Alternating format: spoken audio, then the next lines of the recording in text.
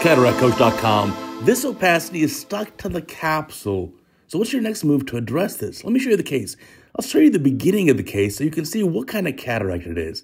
It's this cataract, a lot of posterior subcapsular stuff, a lot of stuff on the posterior aspect of the lens, on the capsule, adherent. Patient's vision is very poor here, maybe 20 out of 200 or 6 out of 60. And now starting off with the rhexis, and watch this, we start the rhexis and you notice that the whole lens is a little bit loosey-goosey. So I can't even poke in with my forceps like I normally do. I'm going to have to switch to a sharp cystotome just to be able to puncture the lens capsule. Remember, there's an advantage using the forceps to puncture the lens capsule because then I can tell, is the capsule taut enough? Is the zonular support good enough that I can poke in with relatively blunt instruments like the tip of my forceps? Here, I had to use a very sharp 27 gauge needle, a cystotome. So now the rhexis can be completed and everything will be okay. There's a little wrinkling of the lens capsule, measuring out a 5 millimeter rhexis here, and we'll get this accomplished. Now, let me tell you about retinarounds.com. We've already launched the channel. You're already missing out. You better go sign up. It's retinarounds.com for the free daily email. Everything's posted there, just like cataractcoach.com. And then also youtube.com slash at retinarounds. Check it out. You're going to learn a lot. Now, here comes the rhexis. Again, a pretty much routine case. We're going to get to the end of the case here, and I'll show you what's going to happen as we clean it up. So beautiful 5 millimeter rhexis. And we're going to do some hydro dissection. Then we'll do some nucleus removal.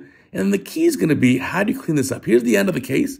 I spread the video up to 2x, cleaning up the cortex. And you can see it's got all this sticky lens material adherent to the capsule, the undersurface of the anterior capsule rim, the posterior capsule, got a lot of gunk on it. And we can try uh, aspirate this out. And so I'm using a little bit of vacuum here, but I got to be gentle. Because remember, there was that zonular laxity we noticed when we were making the rhexis. So again, trying to clean this up, uh, I'm getting somewhere. I'm doing a little bit of capsule vacuum. You can see the striae, the radial lines as the capsule gets sucked into that port. So we're using very low vacuum, but even then, I'm not really able to fully clean this up. We'll clean up as much as we can. Why don't we clean it up? Uh, maybe viscoelastic go inside there. Can we visco dissect it off? So there's the viscoelastic. Maybe we'll do a little capsule polishing. Oh, no, going in with forceps. Grab me with the capsulorhexis forceps. Can I grab that thing and pull it off? And we're going to try. And there it is. Uh, finally, there, I grabbed it. Now, how hard should you yank? I'm trying to peel it off, and it's kind of come up a little bit, but it's still adherent. Now, do I amputate it here? Do I yank a little bit harder? What do you want to do to get that thing off? Or am I tempting fate here? Should we just leave it and put the IOL in. So I'm going to try now a little capsule polish, polishing the undersurface of the anterocapsular rim. And we can try to also polish that thing off, but it's not going to come. So what we're going to do instead is just put the lens in. We'll get the lens inside the eye, put it into position. It looks like a toric monofocal lens, hydrophobic acrylic. So get that position where we need to. I can try scrape that area one more time. Maybe try scrape it with the chopper. Maybe, maybe you can get it off. Maybe there's another technique. We could try get with the eye probe. Once the IOL is in the eye, we feel a little bit more uh, safe and secure about that. Should I do a posterior capsular now? You can go under the optic, poke into the cystotome. Should I do a posterior capsular rhexis? Now, are we overthinking this? Should we just make life easy and then try grab with the for- the aspiration again? It doesn't come. It didn't come with the forceps. You know what? I'm just gonna leave it be. Leave this alone. I know it's to cause a little bit of inflammation in the post-op period. It's to cause an early PCO.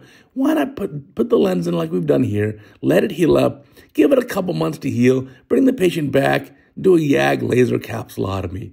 Right? Do that YAG laser capsulotomy, and that'll make life a lot better. Let me show you a different case. Here we have a surgeon says sometimes he uses the edge of the eye. Well, look at that. To scrape and polish the posterior capsule. I've never seen that before. I thought that was an interesting idea.